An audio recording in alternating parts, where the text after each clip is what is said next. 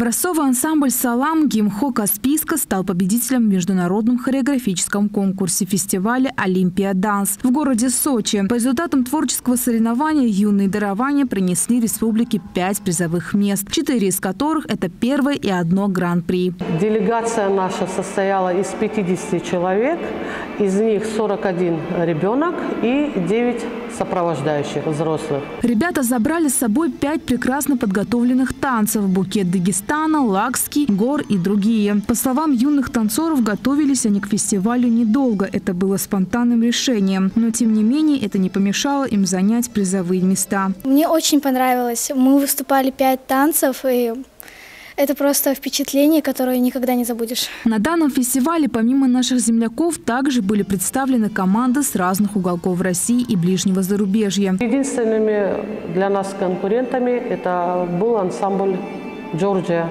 грузинский ансамбль. Для ребят это была первая подобная поездка, от которой у них осталось множество положительных впечатлений. И теперь они с нетерпением ждут следующий масштабный фестиваль. Я очень долго ждала этой поездки. Э, я не думала, то, что меня родители отпустят. Родители меня сразу отпустили. Радость, потому что мы ехали своим коллективом, и я еще ехал со, со своей мамой. Ну, я была рада, потому что это наша первая поездка выездная. Какие были ощущения, когда ты уже прибыла в отель, когда увидела других конкурсантов? Было волнение или наоборот? У нас были сильные соперники, но мы выиграли. Сейчас ансамбль активно проводит репетиции и готовится к ближайшим выступлениям, а также планирует принять участие в международном танцевальном конкурсе в Санкт-Петербурге. Асия Тумалатова, Гаджи Гаджиев, Новости телеканал «Среда».